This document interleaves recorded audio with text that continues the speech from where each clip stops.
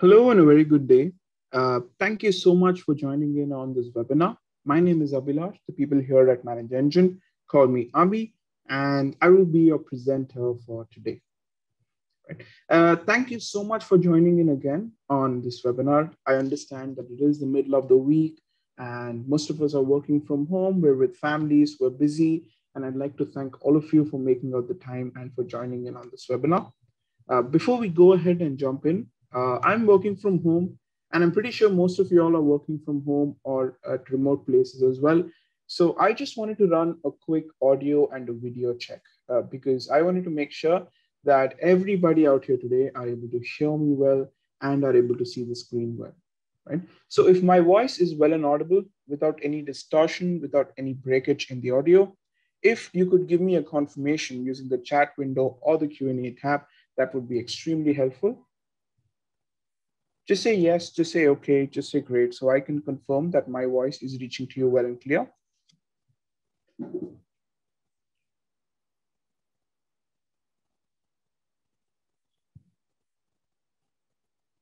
Thank you so much, guys, for your responses. Looks like everything is good. Uh, I hope you can see the video as well, the title and my email ID. Perfect. Thank you, guys. Thank you so much for your responses. Uh, at any point in time, if you feel the audio is cutting off or if you feel there's like a lag between the audio and video, uh, just let me know using the chat window and I'll do my best to get that fixed from my end as soon as possible. Okay, so the topic for today is uh, Active Directory security, domain admin access before lunch, right? That's a pretty attractive title. And uh, what are we going to talk about in today's session? And before I jump into today's session, I just wanted to give you a little introduction on the IT security masterclass that this series is all about, right? So the whole aim or the goal of the IT security masterclass is to give you a holistic and a complete view on network security. Not parts of your network, for example, not just data, not just Active Directory, not just your servers, but potentially your entire network, right? So this is going to be a full day session. Uh, day one and day two will be handled by me. Day three and day four will be handled by my colleague, Ram. So what are we going to discuss on day one and day two? Uh, the idea for day one and day two is to look into specific components of your IT environments, right? Components like Active Directory, cloud components like Azure and data storage, right? So these are the three most important components in any IT environment right now. So Active Directory holds your on-premise data, Azure holds your cloud, and file and data storage devices in your network holds your data, which is your currency, right? So day one and day two, I'll be covering these components, the security of these components in particular. Day three and day four, my colleague Ram will take you through uh, a complete view on network security, right? So where he will be covering endpoint security, he will be talking about security of other operating systems like Linux security. He may be covering uh, more network-based threats like ransomware attacks or any devices connected to your network, like your web servers, your databases, etc. So day one and day two will be AD, Azure, and data storage specific. Day three and day four will be a more wholesome uh, session on network and how you can secure it, right? So the whole aim of this IT security masterclass is not to uh, have a class like the name suggests, not to have a lecture, but just a conversation on security, right? These entire sessions, the session that's happening today, the session, the next session of mine will be happening on July 6th. All of these sessions will be recorded and the recordings will be shared to your respective email addresses. So please do not worry about the slide deck. Please do not worry about the recording. They will be shared to your email addresses uh, as soon as the webinar is done. Probably within the next one to two days, the recordings and the slide decks will reach your email addresses, right? So what's today's goal? Today's goal is Active Directory security, right? So why did we choose to speak about Active Directory security? Because yes, I'm not disagreeing that the IT landscape of organizations like yours have changed. I'm not disagreeing that cloud applications or cloud environments are an integral part of IT and uh, IT environments. But the truth is, if you attended this webinar today, Active Directory is probably a crucial part of your IT infrastructure. Active Directory is probably a single point of authentication and authorization to, the, to your users and to the servers connected in your network, right? And often what we do is we spend our time trying to secure our network, trying to install antivirus and anti-malware solutions, trying to secure our devices in the perimeter, like routers or VPNs and the like, but we tend to forget about Active Directory security, right? Active Directory is like an open phone book it's got the details of your users, their credentials, it's got details of your servers. And if an attacker gains access to that phone book, it's only a matter of time before he or she compromises your domain sensitive data. Right? So before I jump in, I just wanted to share with you a quick survey right here. So this is a survey we have been working on. These are just a couple of questions, just 14 questions right here with multiple choice options uh, just let me know your thoughts on this survey. The reason for this is because based on your answers to this survey, we will conduct another webinar later on uh, with based on the results of the survey. So that webinar will be more catered towards your requirements or your use cases. And again, that webinar will be based on your answers to this survey. So what I'm going to do is I'm going to quickly leave a link to this survey in the chat window. So whenever you have the time, just check out the link, fill it up for us. That would be very helpful. And when we set up the webinar, we will definitely email you and we will uh, invite you, we will intimate you so you can come and check out the webinar and you can secure your Active Directory better, right? So this is something we have been working on. I just wanted to share that out with you, but let's proceed with today's session, right? So Active Directory attacks, what has changed? The truth is Active Directory attacks remain the same, right? Stealing passwords, escalating privileges, abusing permissions, password brute force attacks, password spray attacks, attacking Azure environments from Active Directory, uh, simulating domain controllers or rogue domain controller attacks. The list simply goes on.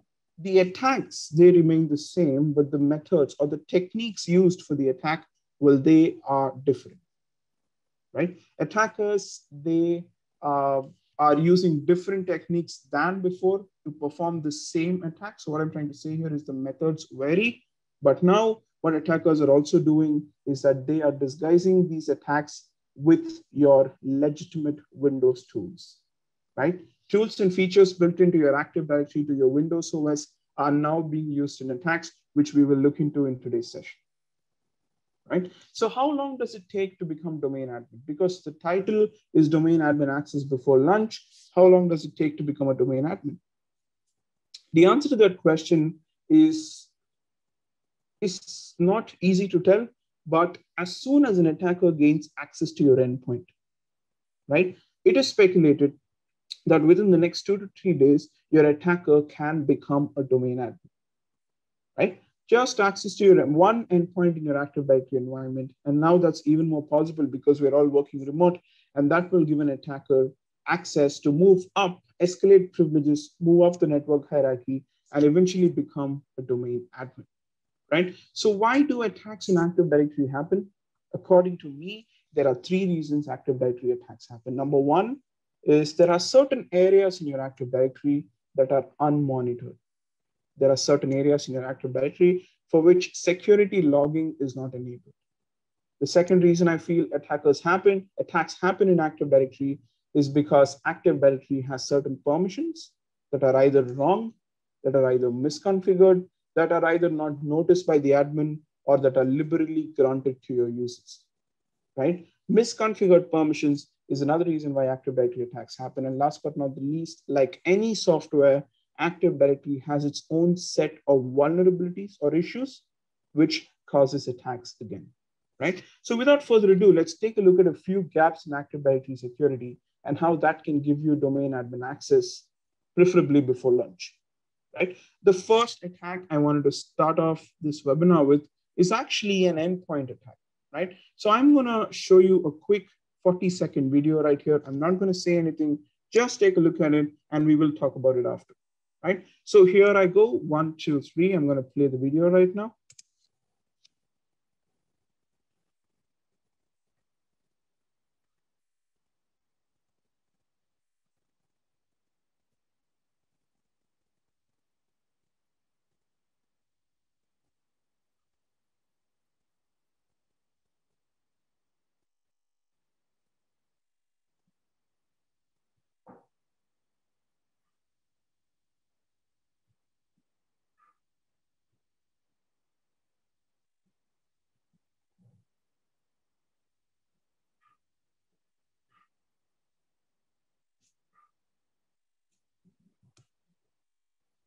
I hope you got a quick look at the video. I'd be more than happy to share the link with you again.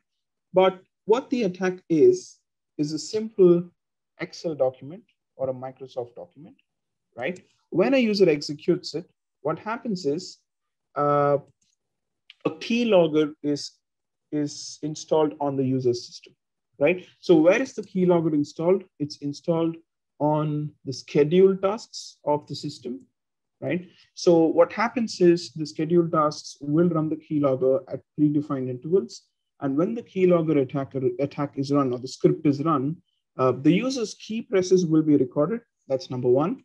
And periodic screenshots will be taken of the user's system and they will be sent to a remote FTP server.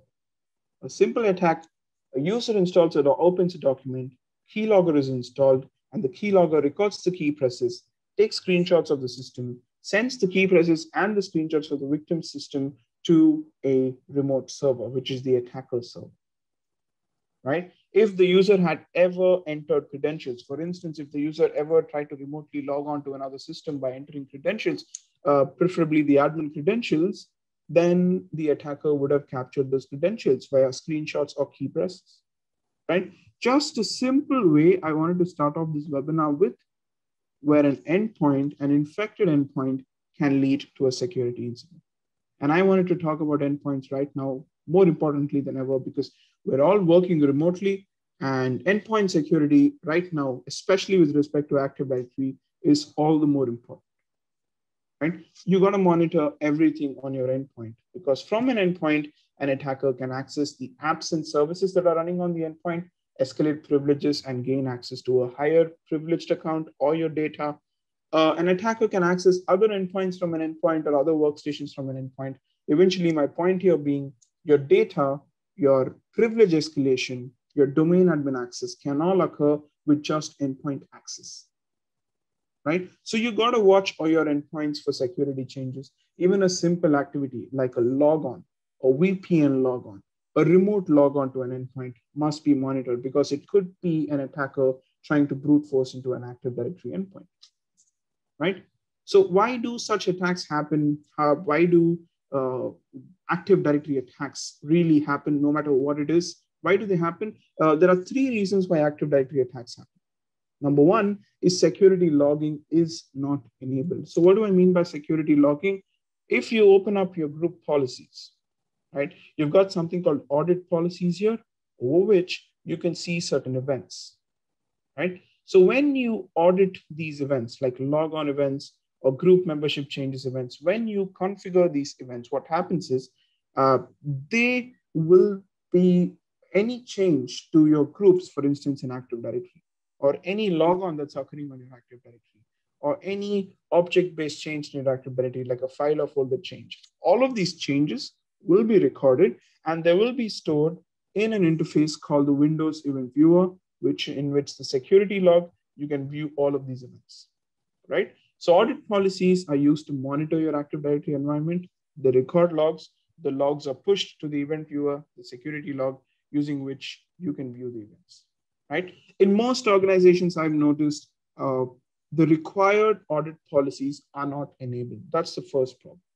right? The second problem is these events that are recorded due to the audit policies are too much to handle, right? So as you can see, there are close to 13 lakh events here just on my endpoint, right? Imagine what you would do when you had to monitor events across all your endpoints in your Active Directory environment, right? So what typically happens in Active Directory environments is that an uh, the admin takes your Windows endpoints, Linux endpoints, and it, they take all the security events and they try and send them or forward them to a central server, right? The server could be a domain controller, the server could be a member server. So basically all of these forwarded events are sent to a collector server, right? That can be used to monitor events across all of your endpoints, right? But what's the problem with this approach? If you take a look at my endpoint here, there are close to 13 lakh logs. Now imagine the logs that are being forwarded from multiple endpoints in your network. So if you want to view those logs, you can view them in the forwarded events, but there will be too much. It's too much to handle. It's too much to read. And none of these logs give you a bird's eye view on what's happening in Active Directory. So you'll manually have to click, open, check out each log to truly understand what's happening. And when you have to do that for all events across all your endpoints, it gets very, very confusing.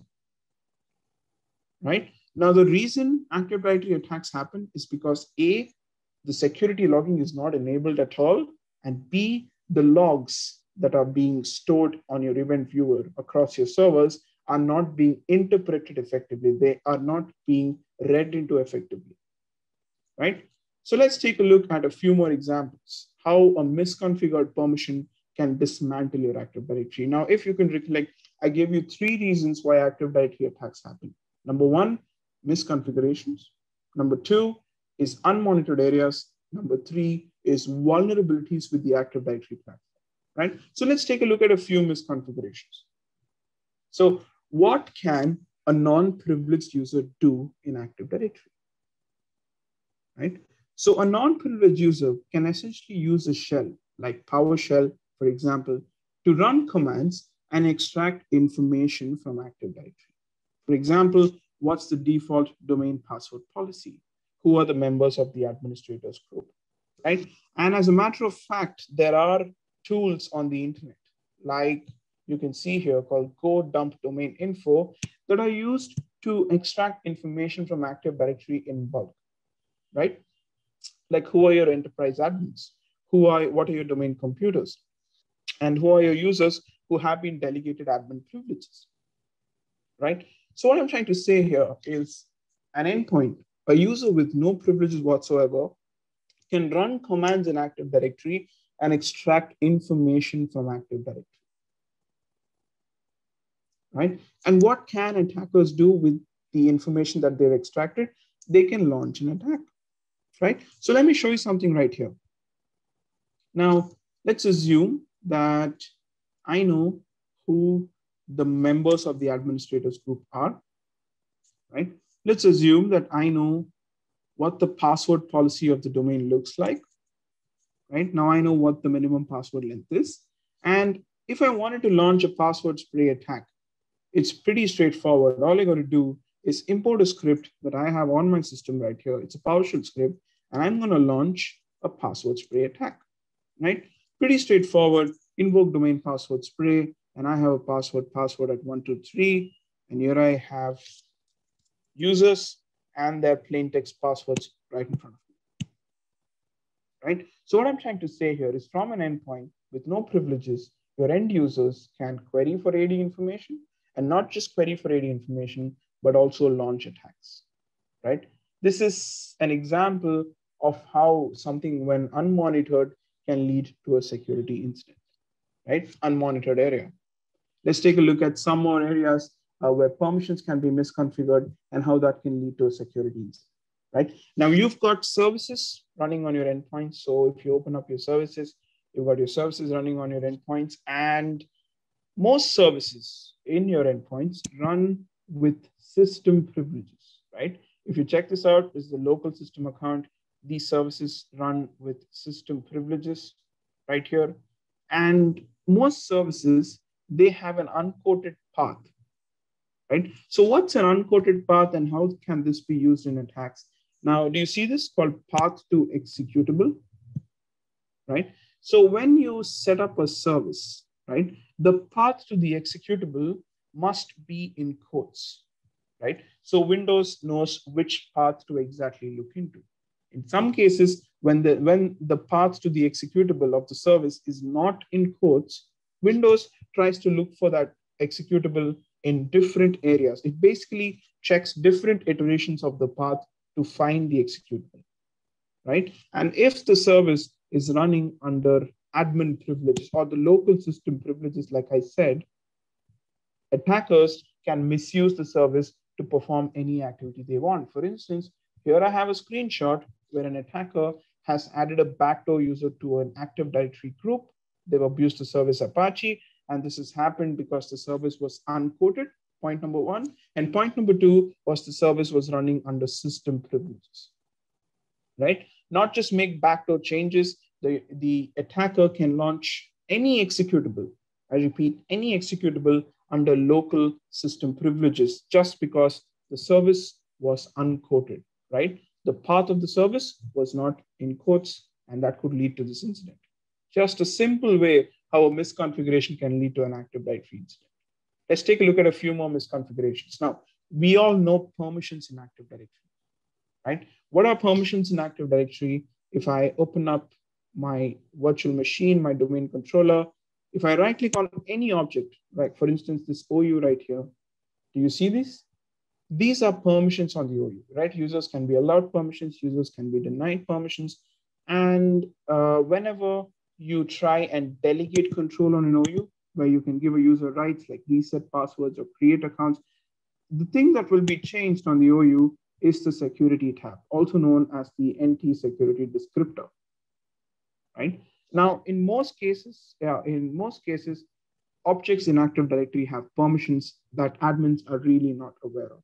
For example, the OU could have someone in the OU uh, could have full control over the OU that we may not know about, right? Similarly, permissions can be changed for a group. Similarly, permissions can be changed on a specific user or even the computers in your network, right? In some cases, OUs can be nested inside each other, like one OU inside another OU.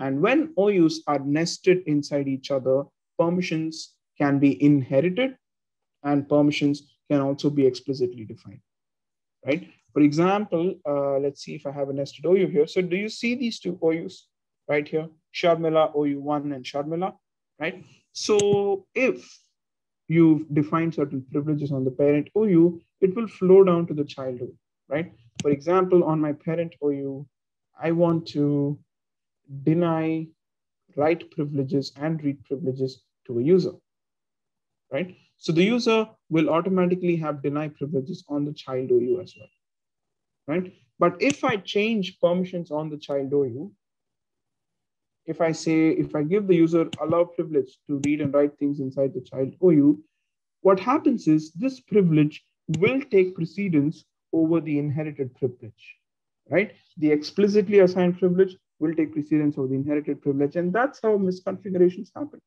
right? Here's one more such example. Uh, do you see this called the system container? This is a default container in Active Directory.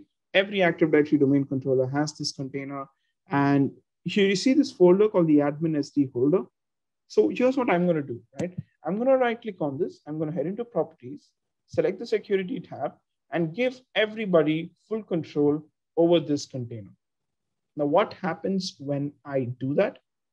When I give full control over the admin SD holder container, I'm essentially passing on the full control privilege to all these protected groups and objects, right? Because this container is responsible for permissions on these objects. A permission change on this container will give the user privileges on all these objects, groups like administrators groups, domain admins group, right? Here's a simple example as to how a misconfigured permission can give a user privileges in Active Directory right? Let's take a look at a few more examples, right? I'm going to show you a video right now. And if you take a look at your screen, on your left, you'll notice an MSI application or a Windows installer application, right? So when this application is run, it gives you a GUI, right, to add a user, a backdoor user, to an Active Directory group, namely the administrators group right? You can add, use, add the user to any group, right? So once you've given the username, once you've given the password, and once you say create, the user is added to the group. And if I open up the administrators group, Here I have the user who's the member of the group, right? So what just happened here? How could a user, you know, simply log in and execute an application and add a user to a group in Active Directory? This happened because of another misconfiguration, right? Misconfigurations in Active Directory lead to breaches. And in this case, the misconfiguration was a group policy setting that was enabled. Do you see this group policy setting called always install with elevated privileges?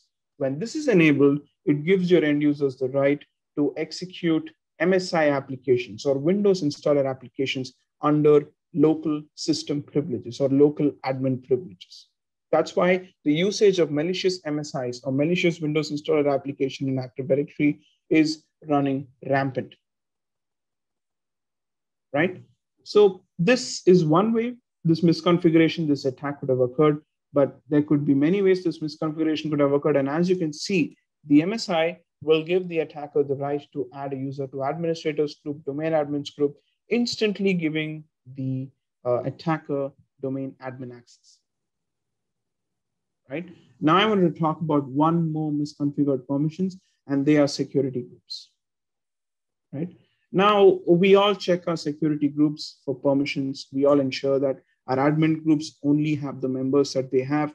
But one thing that we sometimes sometimes miss is uh, nested group memberships, right? So if you see Group A, Group A is a member of Group B. If I open up Group B, you see Group B is a member of the administrators group, right? So what I'm trying to say here is Group A nested in Group B and group B has administrator's privilege. And via nested privileges, the members of group A, all these members are essentially administrators. Right? We may check the direct members of the group, but we may not check the members that are nested into groups, basically groups nested inside each other. Right? One more example when we talk about groups is uh, when you install services or applications, they may introduce new groups in your Active Directory environment, right? For example, when Exchange is installed, it installs new groups called Exchange Windows Permissions, Exchange Trusted Subsystem, Organization Management, and many other groups, right? So what, what are these groups and why are they important? Whenever you install an application, the groups that the application introduces may have certain privileges that you may be unaware of, right? For example, the Exchange Trusted Subsystem group has the right to erase the security log on your domain. So any user who's a member of this Exchange subsystem group can clear the security log without even having to be an administrator, right? The Exchange Windows permissions group that you see right here will give the attacker the ability to modify permissions on an admin on the domain level, on the domain DNS node. So any attacker who's a member of the Exchange Windows permissions group can modify permissions on the domain node. So if the attacker decides to give any user or everyone full control, he can do that. So essentially in this case, everybody on the domain has full control over every object under the domain. Right? Uh, one more way, here's one more example how this could go wrong. Let me right click on this. Let me head into properties. Let me check out the security tab. And if I scroll down, right, do you see this called replicating directory changes or replicating directory changes all, right? So if the attacker is a member of the Exchange Windows Permissions group, if the attacker has rights over the domain DNS node, right?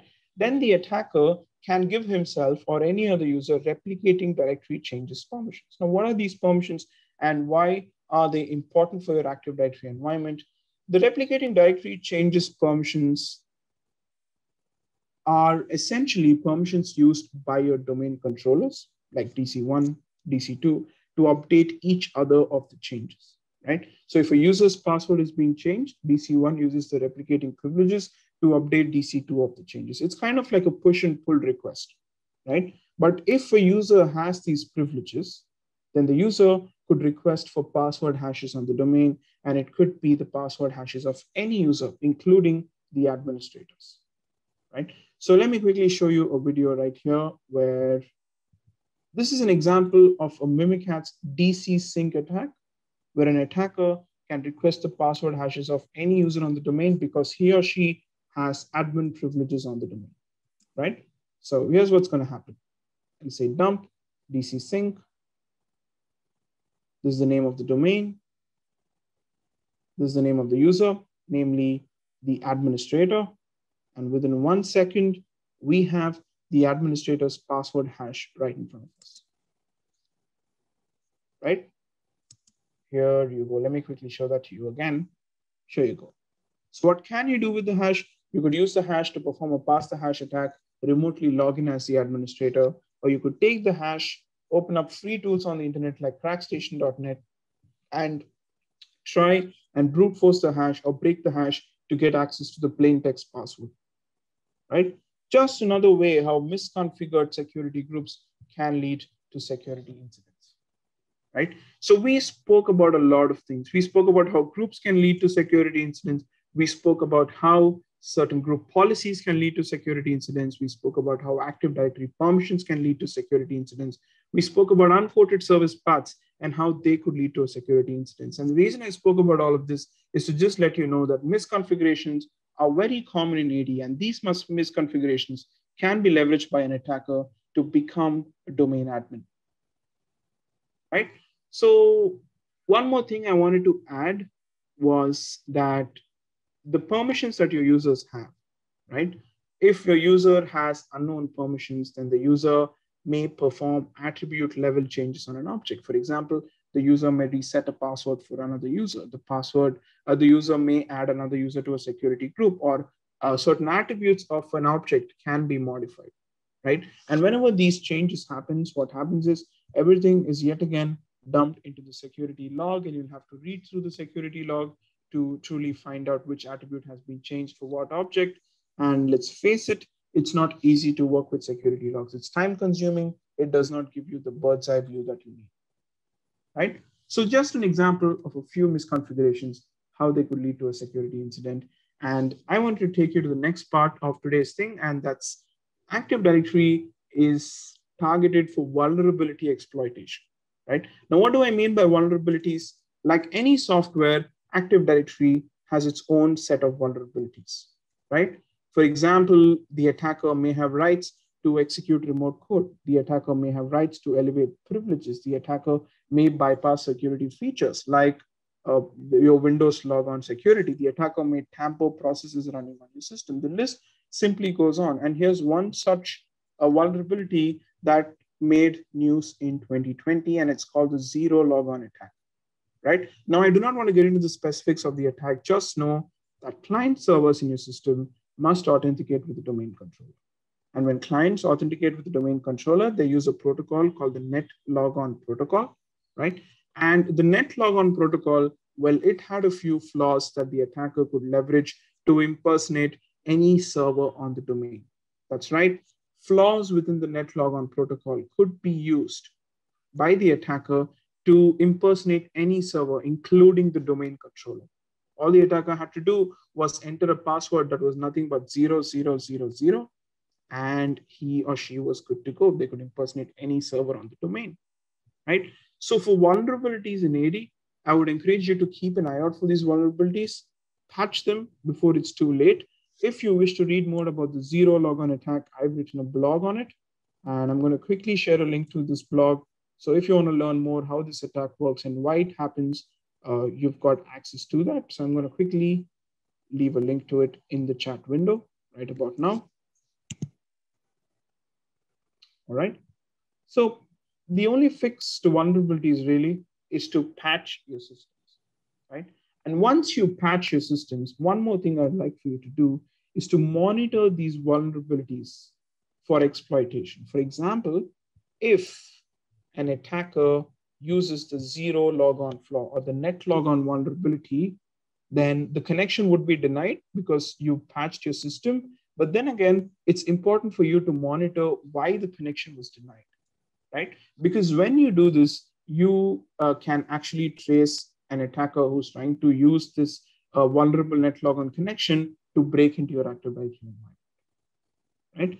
Microsoft has done a few workarounds with vulnerabilities as well. For example, in this net logon attack, what Microsoft has done is that they've introduced a group policy setting where you can add non-compliant devices to actually use the vulnerable net logon connection, right? So what I'm trying to say here is the patch that you see, it cannot be applied to all systems. There are certain non-compliant systems for which the patch won't work.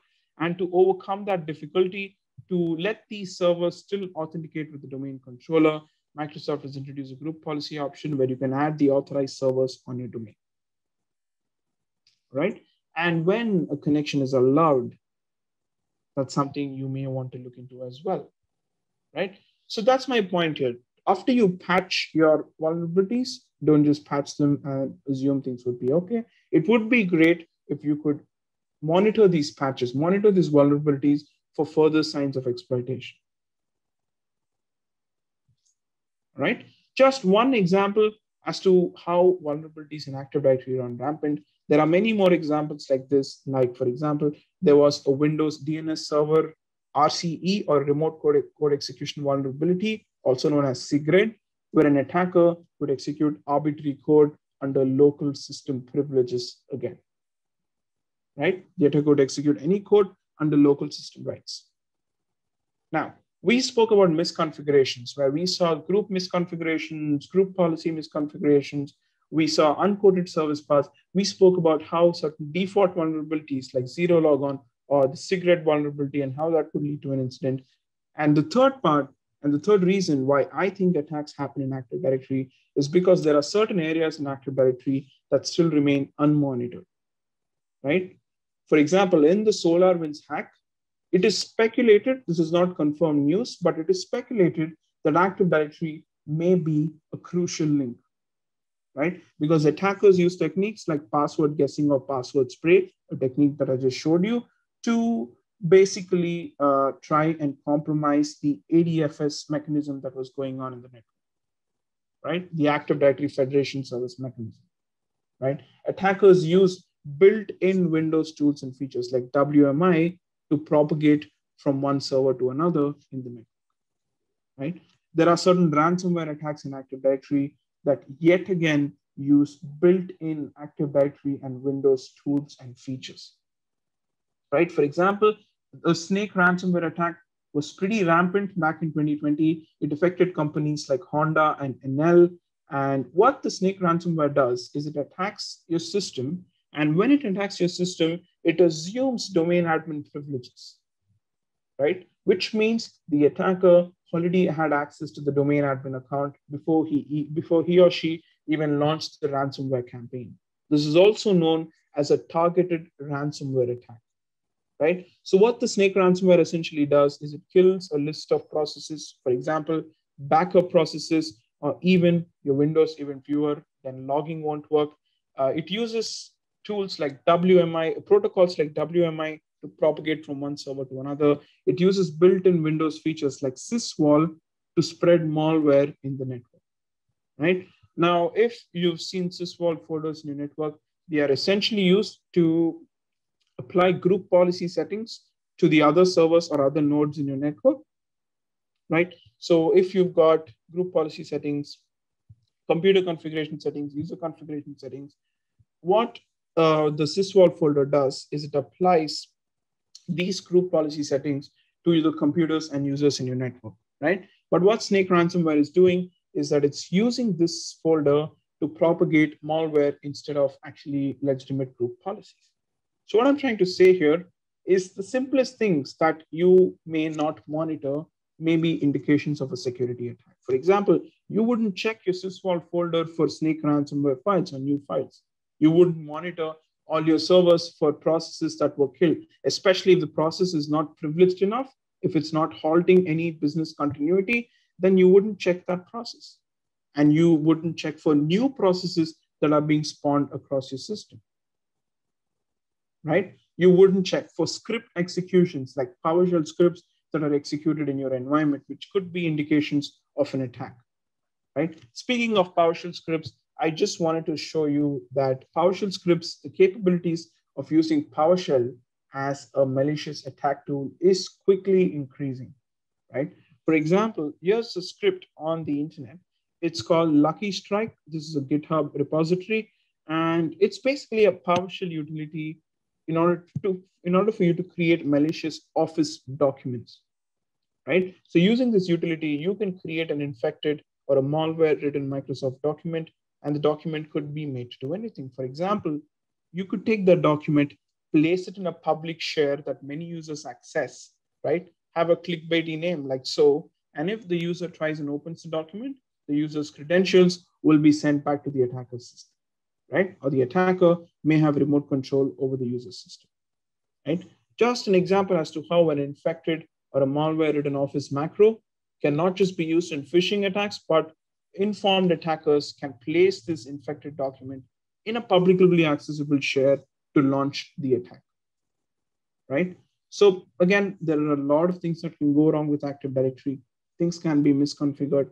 Areas that are unmonitored could, uh, attackers could leverage areas that are unmonitored. Like any software, Active Directory has its own vulnerabilities that Microsoft takes its own sweet time to patch, which can be used in a security incident. And a simple thing like deviation from a typical user behavior could be indications of a security attack, right? For example, if a user is logging on at 3 a.m., then it could be something wrong, right?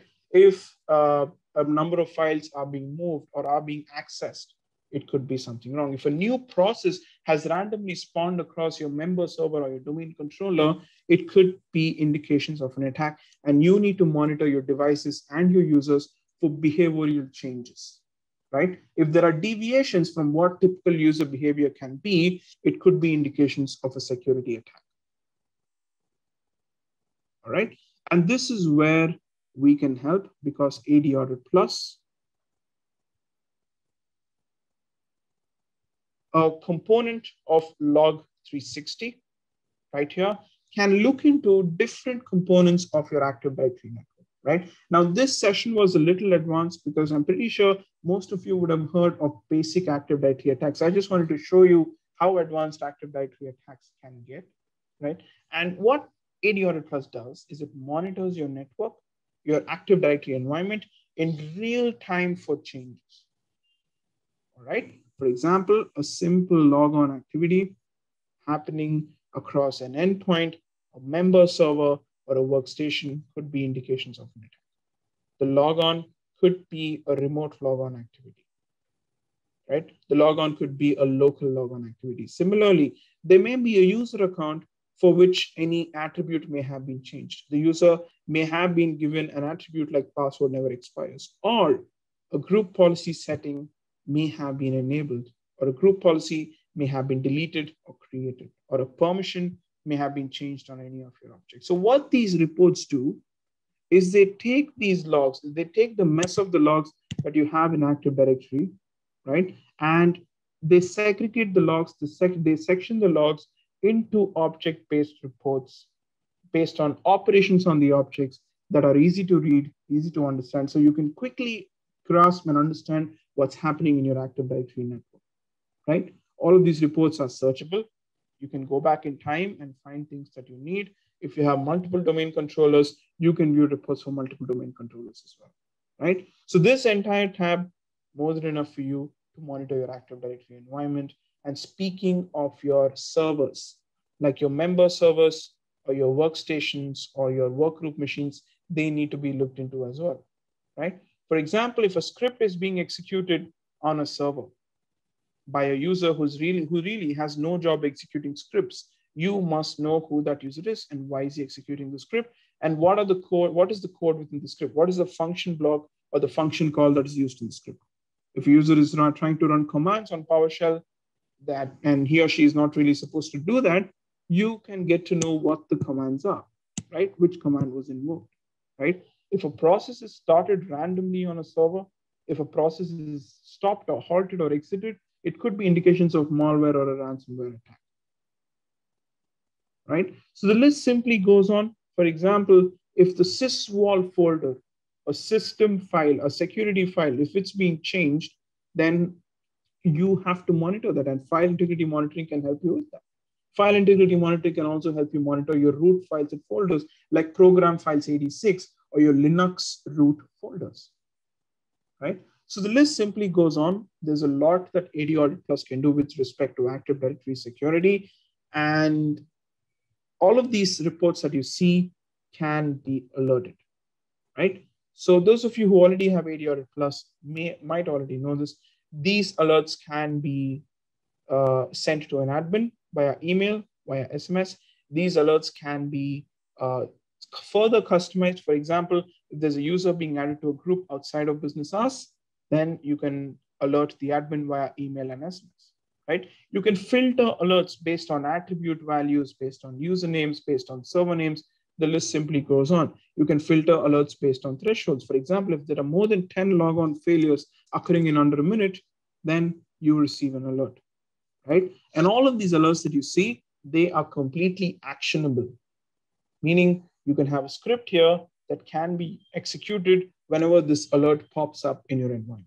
For example, if a user is added to a security group in outside of business hours, right? The script that you see right here will disable that user who was newly added to the group until you come the next day and you check out that the user is actually legit, actually authorized, and you can again enable that user, right? Just an example of a use case. You can customize the alerts however you want. You can customize the script however you want, and you can set the script to act accordingly, according uh, with respect to the alert that was generated. Right? There's a lot more AD Audit Plus can do. For example, it can look into your user behavioral patterns and monitor them for changes. Right? For example, if a user is logging on to a host for the first time, it could be malicious. Right? If there's a new process on a server, it could be something new. It could be something malicious. If there are a number of files or folders that were accessed, modified, or deleted, these are all changes from what behavior is deemed to be normal. These are all anomalies, and the analytics report will monitor those changes for you. This basically monitors your user behaviors, and if there is a deviation from what's what's the expected behavior, then you will immediately receive an alert if you've got alert set up with an AD Audit Right? So that is about it for today. The next session will be on July 6th, where we will talk about Azure AD, right? Now, we cannot ignore that many people who have Active Directory are actually adopting cloud services like Microsoft Azure. And Active Directory and Azure are interconnected, they work together, and it's important that we strengthen that connection and we strengthen Azure AD as well, right? So on July 6th, we'll talk about Azure AD and one more crucial component we still haven't covered is data storage, right? Your file storage devices like NetApp, EMC, Windows file servers, Windows Cloud file clusters. How can you secure your data in your environment? Because honestly, that's the one thing that attackers are after. So on July 6th, Azure AD security and application security that run with Azure and data storage security. All right. So that is about it for today. Thank you for your time. Thank you for your attention.